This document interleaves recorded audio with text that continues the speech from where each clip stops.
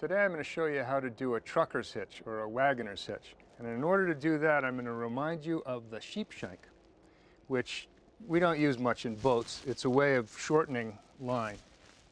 We don't use it much in boats, but we do use half of it, and that is the wagoner's hitch.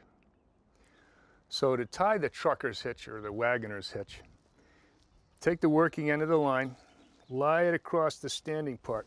On the downstream side, make a bight. On the upstream side, make a loop.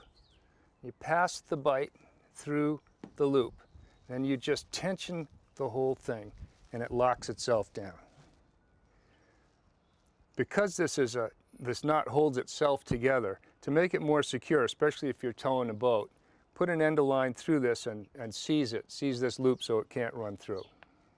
The nice thing about this hitch is that it comes apart very easily because it holds itself in tension. All you have to do is let it go.